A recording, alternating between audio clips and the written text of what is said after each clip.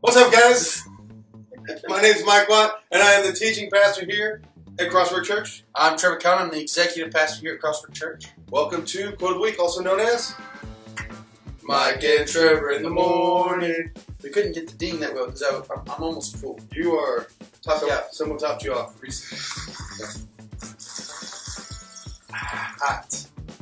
I wish you wouldn't Warm water. I hate it when you slurp.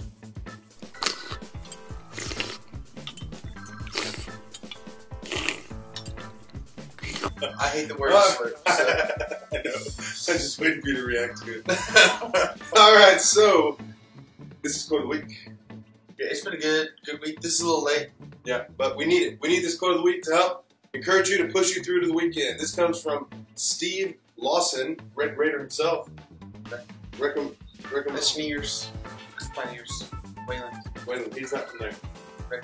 Yeah, he's from there. That's Steve Lawson says, Now is the time for the church to be the church, for the light to shine, for the salt to penetrate, for the gospel to explode, for the truth to prevail. I mean, that Steve Lawson, he knows some stuff. That guy knows some stuff, not just because he's, uh, you know, spends time in our neck of the woods, but, uh, He understands our neck of the woods, though. yeah, yeah, he gets it. And, uh, and man, how more poignant of a quote is there than that?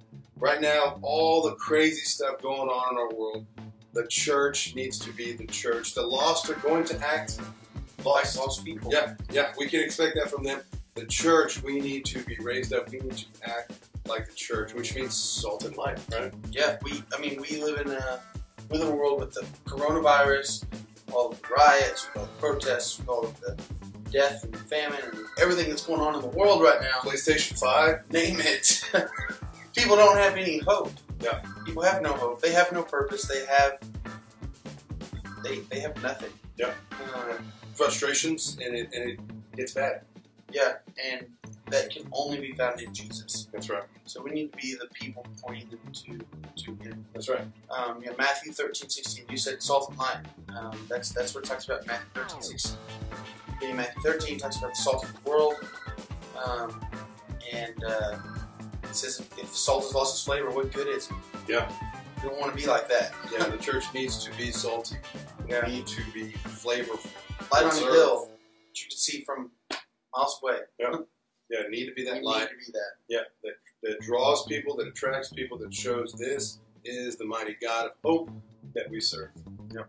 So that's our challenge to you guys. Church, be the church. Be salt, be light, live out this faith in the great God that we have.